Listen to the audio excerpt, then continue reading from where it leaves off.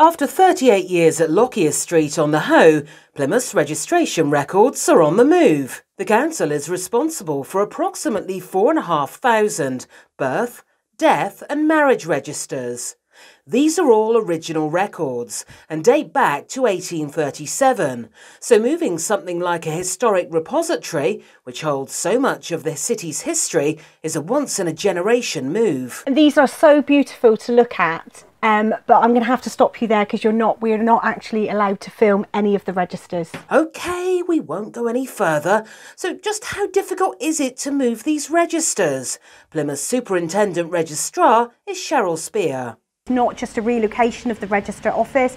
We have to first and foremost ensure the safe custody of the registers um, and all of our secure stock. Um, we have to make sure that you know, if there's any damage inside the building, that whatever would happen, those records are kept safe.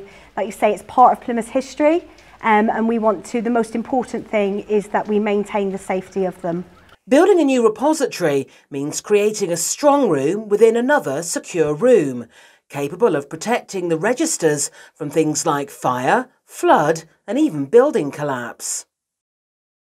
Once the room was finished, all those thousands of registers you saw earlier had to be methodically packed up, sealed in crates, and signed out of Lockyer Street before they were signed back into their new home at Derriford Business Park.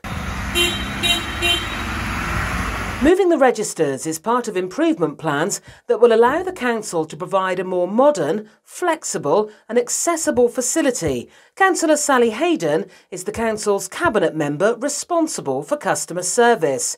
She helped the registration and library team to pack up the Lockyer Street site and explains why the move is so important. It's really important for the for customer experience, for starters. It makes um, so much more easier for um, our users to be able to register our births and deaths.